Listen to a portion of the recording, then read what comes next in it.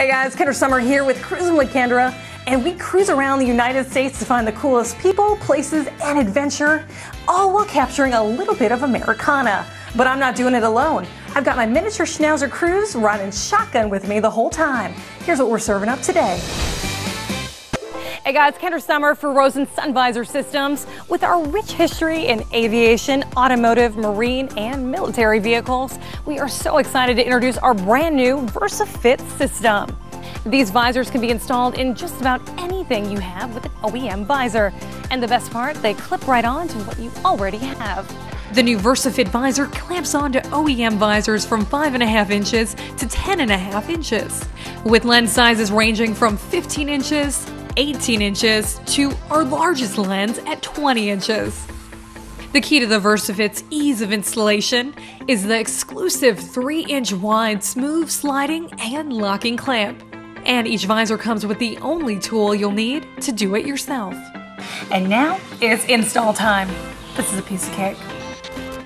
No matter your application, simply pull back the clamp, hook it from the back of the existing visor, Pull the visor forward and push the locking clamp close for a secure fit. Then remove the scratch resistant paper and you're ready for better vision. When you're out on the road or flying in the sky, the VersaFit's non-polarized, neutral density tint filters 99% of harmful ultraviolet rays and reduces glare by 94%. And each Rosen sun visor comes with a 3-year limited warranty. Now, to get the right size VersaFit for your ride, us a call at 1-800-284-7677 or check us out online at rosenvisor.com. Hey guys, Kendra Sommer here, and I'm hanging out at Rosen Sun Visor Systems. And Rosen is very proud of the fact that all their quality products are made in the USA. A fact that surprised Niles Hansen before he purchased the company. Some of the training planes that I used had them, not all of them, but some of them did. And, uh, and it was always much easier to fly when I could pull the, uh, the lens down. And so when I, when I got an airplane, didn't have it, and so I rushed down and rushed out to get it and found out that um, they were made in Eugene. I didn't know that before. Today, Niles and his team take every measure to keep their products all American made and built by American workers. Everything that goes into our product we make here in Eugene. Uh, we buy raw materials and most of it's uh, U.S. sourced as well. I think we need to start doing more of that. You can't inspect quality into something. You have to make quality. So it's very easy for us to maintain all the registrations and those type of things because we have quality people that make a quality product that really care. So my job is actually very, very simple.